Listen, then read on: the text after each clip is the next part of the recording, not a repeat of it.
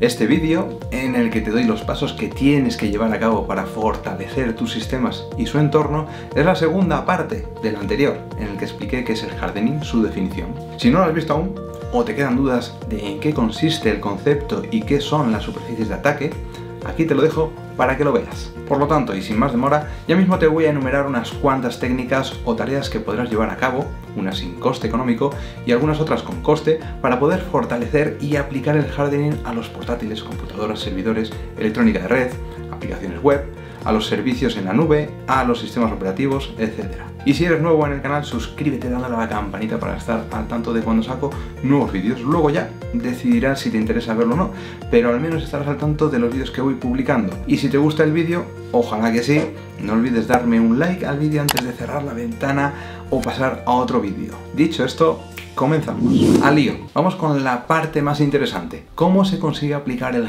hardening dentro del ámbito de la ciberseguridad a unos y a otros sistemas y entornos. Lo primero que tienes que hacer es plantear una correcta estrategia y planificación. ¿Cómo se hace esto? Diseñando diferentes capas de protección y actuación, priorizando unos sistemas sobre otros por su exposición, por su criticidad para el negocio, o en tu hogar, etc. Aunque si tienes recursos suficientes, abarcarás más terreno en un mismo periodo de tiempo, en vez de tener que ir poco a poco. Indudablemente, todo debe ser fortalecido a nivel de ciberseguridad, por supuesto, pero como los recursos humanos, técnicos, temporales y económicos suelen ser escasos por naturaleza, pues corresponde priorizar debidamente las labores planificándolo correctamente, ir poquito a poquito. Por lo tanto, esta estrategia, diseñada para alcanzar el objetivo de disponer de un entorno ciberseguro, junto a la planificación para llevarlo a cabo, conlleva una serie de puntos de los cuales a continuación te muestro varios de ellos, algunos de los más destacados desde mi punto de vista, para no extenderme, pero hay muchos más. Primero, audita todos los sistemas, redes, servicios y aplicaciones existentes, todo tu entorno. Hay cantidad de herramientas para auditoría de seguridad. Utiliza, por ejemplo, sistemas de escaneo de vulnerabilidades, de gestión de configuraciones, de inventariado y actualización de software también, para ver si los entornos de software están debidamente actualizados, etc. Cuando es un entorno muy nutrido de aplicaciones, sean comerciales o desarrolladas internamente, hacer un pentesting o hacking ético te proporcionará mucha información, una visión general. Esto ayudará en de los resultados a tomar unas y otras medidas y mejoras, aparte que obtendrás también una mejor visión de lo que hay desplegado en tu red, como ya he dicho. Segundo, elimina el software y el hardware así como servicios y programas no esenciales, aquello que no sea necesario para realizar correctamente las labores tanto en la empresa como en tu hogar fuera, ya que son potenciales superficies de ataque. Servicios como FTP, Telnet, RDP, etc. son importantes superficies de ataque. Si no los eliminas, al menos securízalas debidamente. Un servidor o servicio web, por ejemplo, puede estar expuesto por su naturaleza a Internet, a la red insegura. Correcto, pero asegúrate de fortalecer su seguridad, su entorno. Un servicio SQL por nombrar otro, no tiene que estar expuesto a Internet directamente, no suele, ni tiene que estar alojado en el mismo equipo donde reside el servidor o servicio web.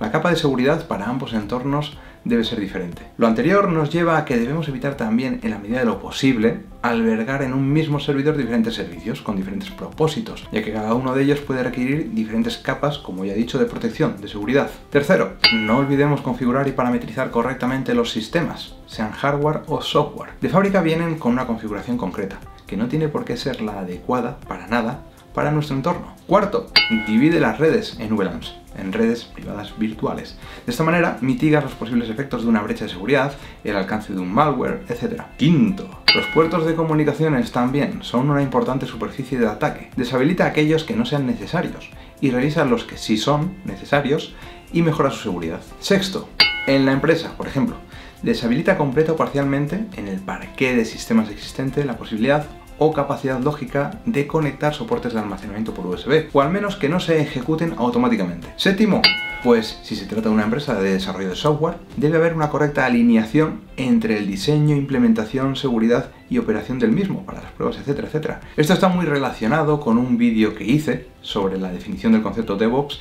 y DevSecOps, explicado de manera muy sencilla, aquí te lo dejo. Octavo, parchea las vulnerabilidades del software y los diferentes entornos que tengas desplegados y mantén los sistemas actualizados a su última versión. Es importante mantener los sistemas operativos, así como todo el software que albergan unos y otros equipos, actualizados a su última versión. De esta manera mitigarás muchas vulnerabilidades. Noveno, audita los privilegios de acceso a unos y otros sistemas de tu empresa o de tu hogar. Verifica quién tiene acceso a qué y hasta dónde puede llegar ese acceso. Ser restrictivos por diseño y definición. Décimo punto. En línea con el anterior, revisa la fortaleza de las credenciales y por ende hace una buena gestión de las contraseñas. Y ojo, cambia siempre las contraseñas que vienen por defecto en los sistemas electrónica de red, redes wifi, etc. Y hazlo de manera regular en el tiempo. Un décimo punto. En la empresa, conciencia a la gente en el uso de la tecnología que ponemos ante ellos. Enséñales los beneficios y también las consecuencias de emplearlas indebidamente. Décimo segundo punto. Puedes desplegar sistemas dentro de una DMZ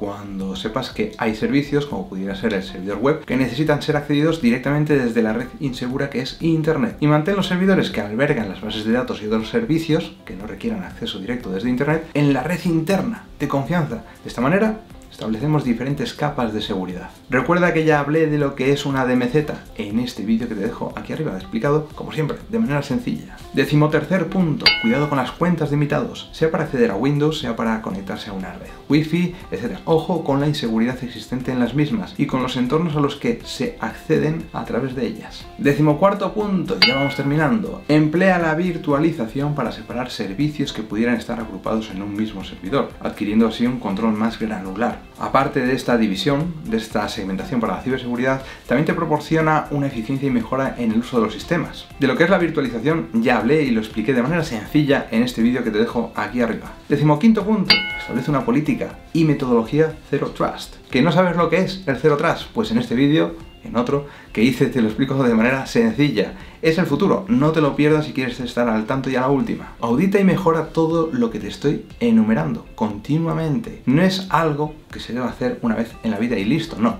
Este proceso de fortalecimiento de la ciberseguridad es un proceso continuo en el tiempo, de planificación, ejecución, revisión, control y vuelta a mejorarlo. Esto no se detiene, los ciberataques son cada vez más sofisticados y van innovando en el tiempo, por tanto, no te duermas, no te quedes atrás. Aparte de lo que ya te he comentado, que es relativamente fácil de hacer y de ejecutar y llevar a cabo, si no sabes por dónde proseguir, te recomiendo que te vayas a los estándares que se establecen en la documentación de seguridad de Microsoft, en Microsoft Security Baselines, o para Linux con OpenSCAP, que proporciona diversas utilidades y herramientas para hardening. Conclusiones y sugerencias. Tras todo lo anterior, una tarea, labor, que puede darte idea de cómo están tus sistemas, tu red e infraestructura, es también realizar labores de Red Team y Blue Team también, por supuesto. De esto hablaré en próximos vídeos también. Y hasta aquí el segundo vídeo del hardening y último. Suscríbete dándole a la campanita para estar al tanto de cuando saco nuevos vídeos. Cuando aparezca la notificación ya decidirás si quieres verlo o no, pero al menos estarás al tanto de ello. Y no olvides darme un like si te ha gustado este vídeo y así poder ver vuestro interés en este tipo de contenido. Un saludo y hasta el próximo vídeo.